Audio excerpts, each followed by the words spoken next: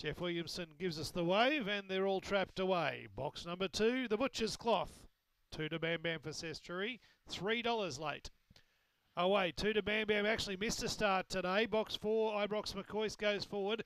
And now off the inside, Lady Rico put the paw to the floor. Lady Rico goes three clear. Margin abbreviated Campbell Clown, Mr. General. Up the inside, then comes two to Bam Bam Dynasty. But in the straight, Lady Rico is a boil over. Lady Rico, length and a quarter to Campbell Clown.